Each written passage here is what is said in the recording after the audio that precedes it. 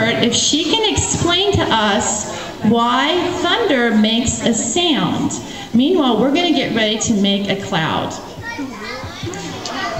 All right, well, you guys have all heard the expression faster than the speed of light, an expression for something that goes really fast. Thunder and lightning occur at the same time, but you probably don't think of that because you hear the thunder, and, or you see the lightning and then you hear the thunder. And you see the lightning because that travels faster than the sound.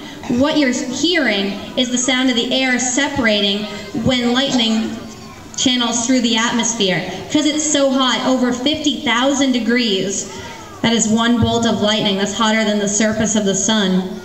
One bolt of lightning is so hot that it makes the air expand around it, and the sound of the air expanding is what you hear of thunder.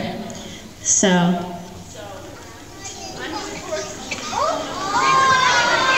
okay, this is very, very cold. Liquid nitrogen. Oh, I can feel it on my ankles. Cool. Guys right here in front,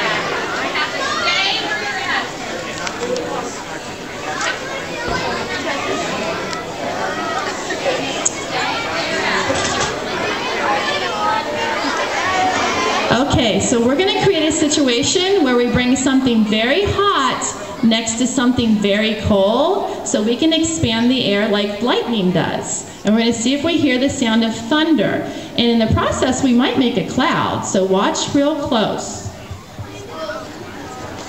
So that's kind of like the lightning being very hot interacting with the air, which is not nearly 50,000 degrees.